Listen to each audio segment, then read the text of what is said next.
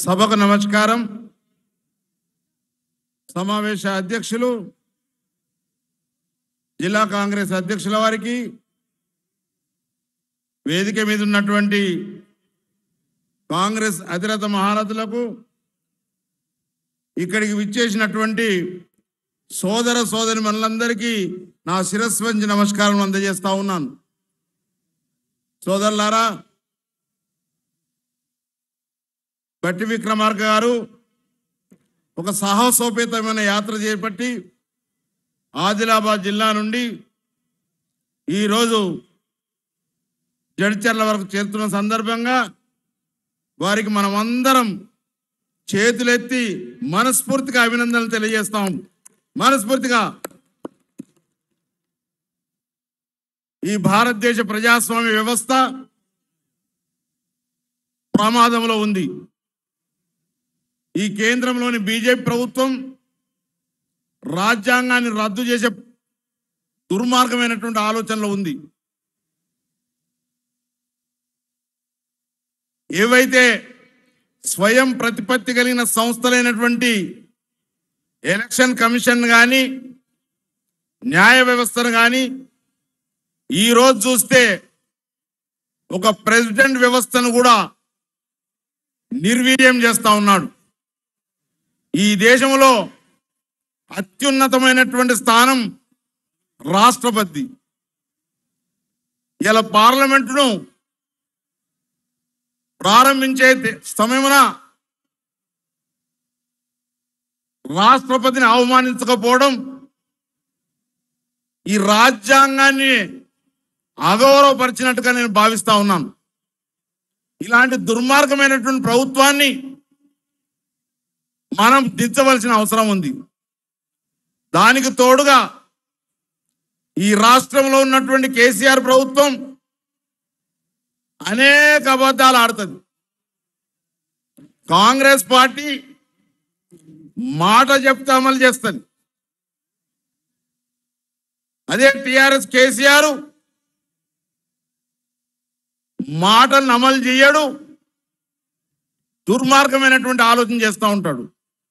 ఆయన ఏమేం చేయలేదు ఏమేమి హామీలు ఇచ్చిండు ఎన్నింటి తొంగల దొక్కిండే ఒక శాంతడంత లిస్ట్ ఉంటుంది. అవన్నీ చదివి మిమ్మల్ని ఇబ్బంది పెట్టడం ఇష్టం లేదు.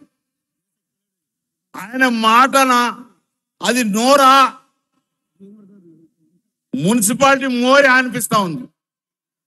ఇలాంటి దుర్మార్గమైనటువంటి ఆలోచనతోటి ఈ రాష్ట్రాన్ని భ్రష్టు పట్టిస్తా ఉన్నాడు. ఇవన్నీ చూసిన తర్వాత ఎప్పుడైతే ఈ ప్రజాస్వామ్య వ్యవస్థ కూని అవుతా ఉందో ఈ రాజ్యాంగ సంస్థలు నిర్వీర్యం అవుతా ఉన్నాయో పార్లమెంటరీ వ్యవస్థను నాశనం చేస్తా ఉన్నారో పార్లమెంట్లో ప్రతిపక్షాలను నోరు నొక్కుతా ఉన్నారో ఇలాంటి పరిస్థితుల్లో మా నేత రాహుల్ గాంధీ గారు భారత్ జోడో యాత్ర చేపట్టి ఈ దేశాన్ని సమగ్రంగా ఉంచాలి. ఈ దేశాన్ని సమైక్యంగా ఉంచాలి. ఈ ప్రజాస్వామ్య వ్యవస్థను ఈ రాజ్యాంగాన్ని రాసింది కాంగ్రెస్ పార్టీ. దానికి వారసుడైనటువంటి రాహుల్ గాంధీ గారు ఈ ప్రజాస్వామ్య పరిరక్షణ కోసం భారత్ జోడో యాత్ర చేపట్టిన సంగతి అందరం గుర్తు చేస్తా ఉన్నాను. దేశానికి స్వాతంత్రం తీసుకొచ్చిన పార్టీ కాంగ్రెస్ పార్టీ. ఈ రాష్ట్రాన్ని ఇచ్చిన party Congress party. Congress party ఈ భారతదేశ వ్యవస్థకు పేటెంట్ రైట్ కలిగిన పార్టీ. దాన్ని ఇంకో మాటలు చెప్పాలంటే ఈ ప్రజాస్వామ్య వ్యవస్థకు కాంగ్రెస్ పార్టీ పట్టేదారు అనేటువంటి మాట సందర్భంగా తెలియజేస్తా ఉన్నాం అంతేకాకుండా బిడ్డారా ఆ రోజు స్వతంత్రం వచ్చినాడు ఐదు వందల అరవై ఐదు మంది రాజులు వెయ్యికి మంది పైన సంస్థానాధీశులు వీళ్ళందరినీ ఒప్పించి పెప్పించి ప్రజల చేత ప్రజల కొరకు ప్రజల వల్ల ఏర్పడ్డ ప్రజారాజ్యాన్ని ఏర్పాటు చేస్తే పేదోనికి ఒకటే ఓటిచ్చి చదువుకున్న వానికి ఒకటే ఓటిచ్చి చదువు రాని వానికి ఒకటే ఓటిచ్చి అత్యంత ధనవంతునికి ఒకటే ఓటిచ్చిన ఘనత డాక్టర్ బిఆర్ అంబేద్కర్ దక్కుతుందనేటువంటి మాట ఈ సందర్భంగా తెలియజేస్తా ఉన్నాను.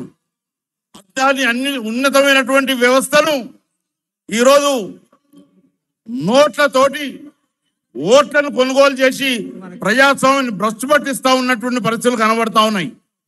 దీన్ని మనం రక్షించుకోవాల్సిన బాధ్యత పౌరులందరి మీద అనేటువంటి మాట ఈ సందర్భంగా తెలియజేస్తా ఉన్నాను.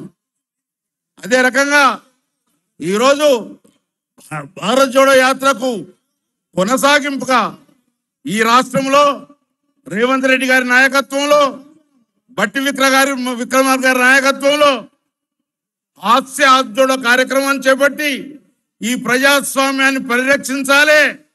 దీని బాధ్యత ప్రజలందరిది. దానికి కాంగ్రెస్ పార్టీ ముందు వరుసలో ఉండి పోరాటం చేస్తుంది అనేటువంటి సంకేతాన్ని ఇవ్వడం జరుగుతుందని తెలి తెలియజేస్తా ఉన్నాను. ఈరోజు ఆశ్రయ ఆద్యోడ కార్యక్రమంలో అది హాస్య చూడంటే చేయి చేయి కలుపుదాం. చేయి చేయి కలుపుదాం. చేతి గుర్తును బలోపేతం చేస్తాం. రానున్న కాలంలో కాంగ్రెస్ పార్టీని కేంద్రంలో కాంగ్రెస్ ప్రభుత్వాన్ని రాష్ట్రంలో తీసుకొచ్చే బాధ్యత మనందరి మీద ఉందనేటువంటి మాట తెలియజేసుకుంటూ సెలవు తీసుకుంటా ఉన్నాను. జై హింద్ జై కాంగ్రెస్.